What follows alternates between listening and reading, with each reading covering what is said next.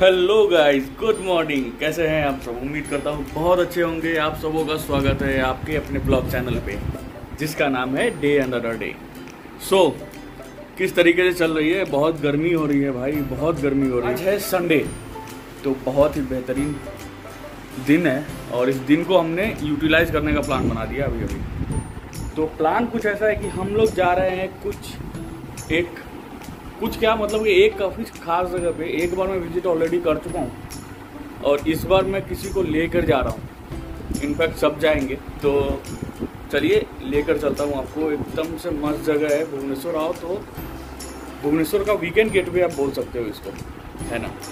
तो चुपती जलती गर्मी से बचने के लिए चलो एक दिन चिल मार के आते हैं। है ना बेटा? हाँ हाँ हाँ। ऑलमोस्ट हमारी जर्नी भुवनेश्वर से एक घंटे की होने वाली है। जगह का नाम है नुआ गोवा प्राइवेट लिमिटेड। नुआ गोवा एक इनिशिएटिव है प्राइवेट इनिशिएटिव है, एक रिसोर्ट काइंड ऑफ़ थिंग है जहाँ पे हैंग आउट चिल आउट कर सकते हैं आप दिन में और रात को भी स्टे कर सकते हैं। एक नेचुरल गेटवे की तरह है। तो चलते हैं, आपको रास्ते में दिखाता हूँ कितना खूबसूरत है। सो फाइनली हम सब इकट्ठे हो चुके हैं और ये कुछ ऐसा नज़ारा है। पीछे एक गाँव बसा हुआ है। और इसमें हमने ठूस ठूस के बैठाया है। तो ये है वासिंदे गाँव के। अच्छा ये इतना कौन उठा पैसा सकता है? वसूल। इतना सिर्फ़ टाटा ही उठा सकता है वज़न ठूस ठूस कराओ भरो ये हिंदुस्तानी बोझ है। ऐसे नहीं उठेगा। तो चलिए मिलते हैं और डेस्टिनेशन पे जाके आपको दिखाते हैं कैसी है जगह। हम लोग इस खूबसूरत से रास्ते को होते हुए पहुँचते हैं अपने डेस्टिनेशन पे। फाइनली हम लोग आ गए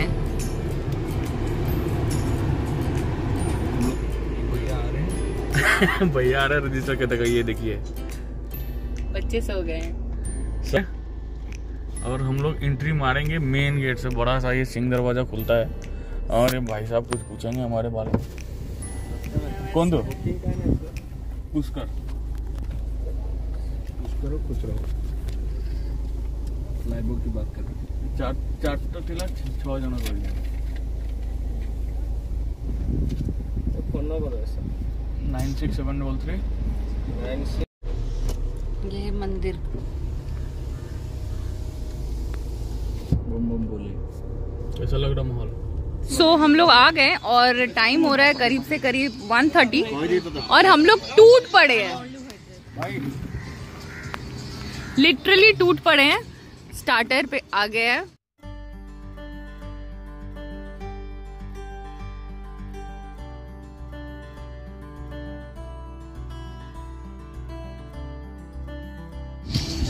सो मिस्टर पात्रा कैसा लग रहा है? इज़ देर एनी खतरा हम लोग वहाँ पे काफ़ी मज़ा करना स्टार्ट कर चुके थे और श्री भी काफ़ी इन्जॉय कर रही थी। इनफैक्ट सब लोग इन्जॉय कर रहे थे आप देख सकते हैं। इतनी गर्मी होने के बावजूद भी वहाँ का माहौल थोड़ा सा चिल था और आपको गाँव की जो हवा होती है ना वो लगती है तो उतना ज़्यादा गर्मी का महसूस नहीं हो। और सब कोई काफ़ी आराम से अपने स्टार्टर को इन्जॉय कर रहे थे मोमेंट को इन्जॉय कर रहे थे।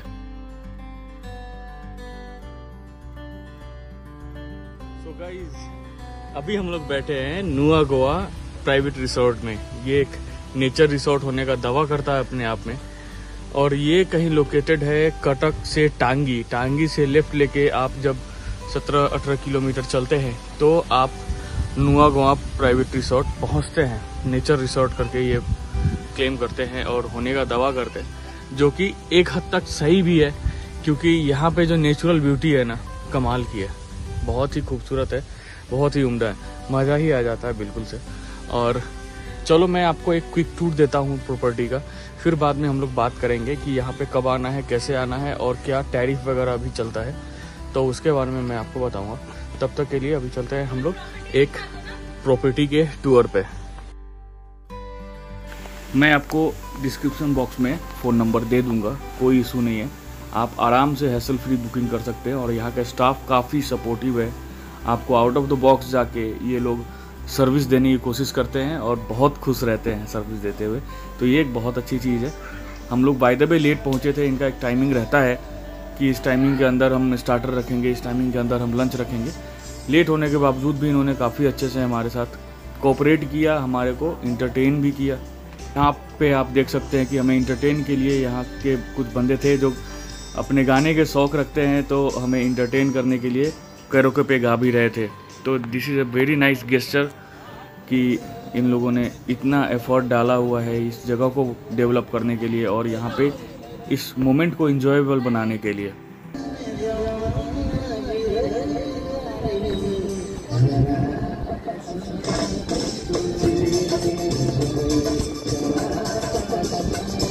सो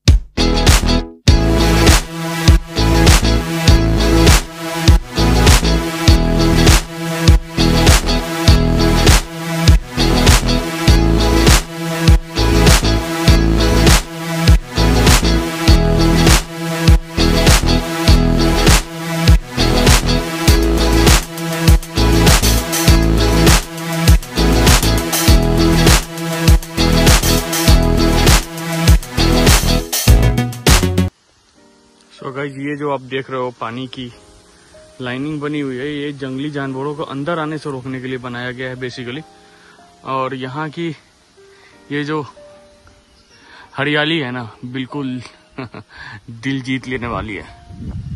इतनी सुकून भली ठंडी ठंडी हवा चल रही है ना कि पूछो मत। हालाँकि गर्मी का मौसम है, गर्मी बहुत ज़्यादा ही है। काफ़ी गर्म है माहौल एकदम से। फिर भी यहाँ पे उतना फील नहीं हो रहा है। अब शाम होने को आया है और हम लोग इस प्रॉपर्टी टूर के बाद जाएँगे, एक सनसेट पॉइंट है यहाँ पे, उस तरफ़। तो ये सब जो आप देख रहे हैं सिट आउट एरिया है, सामने लिविंग एरिया है, यहाँ पे रूम्स अवेलेबल हैं एसी रूम्स काफ़ी लंबा, चौड़ा, एकदम से हरा भरा एरिया है। बिल्कुल नेचर के गोद में होने का फील कराता है आपको। यहाँ पे ये रेस्टोरेंट और कैरोके का एरिया है। और छोट छोटे मोटे एक्टिविटी हो सकती है यहाँ पे। और सबसे बड़ी बात कि ये एसी है। जान में जान आ जाती है इस गर्मी में। एसी का नाम सुनते ही।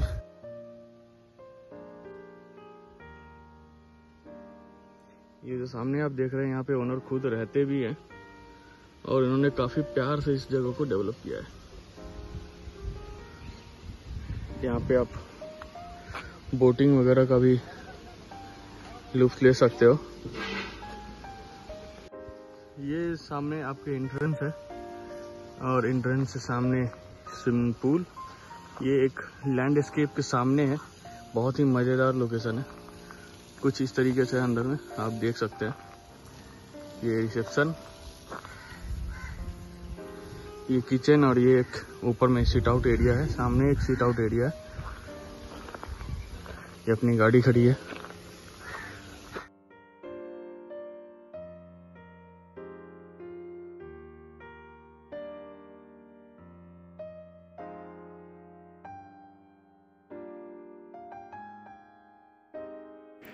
यहाँ पे मस्ती करने के बाद हम लोग फाइनली लंच के वेन्यू की तरफ़ रुख कर चुके थे अपना, क्योंकि बुफे लग चुका था और उसको ज़्यादा देर वेट नहीं कराया जा सकता था। तो आप यहाँ पे देख सकते हैं कि आपका जो लंच करने का एरिया है, वो एसी प्रेमिसेस में किया जाता है। तो उससे फ़ायदा क्या है कि आप कम से कम चिल माहौल में अपना लंच लो तो दिमाग हल्का रहता है और मज़ा भी आता है लेने में। हालाँकि गर्मी बहुत ज़्यादा थी, बहुत ज़्यादा होने लगी थी दोपहर का समय होने की वजह से।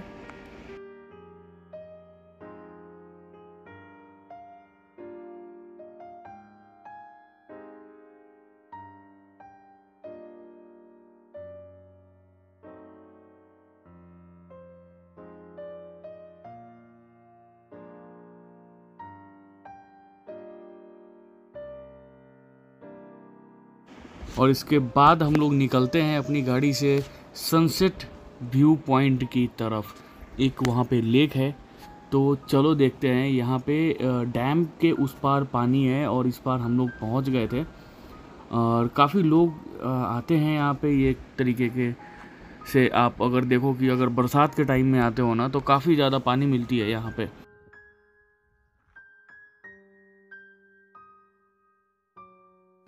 इस शानदार से सनसेट को एंजॉय करने के बाद हम लोग वापस आ गए थे अपने बेस कैंप पे और यहाँ पे एंजॉय किया टी एकदम लाजवाब टी था और हमारे साथ इसी तरीके से बने रहें अगले ढेर सारे वीडियोज़ के लिए और अपना ढेर सारा प्यार हमारे साथ शेयर करें।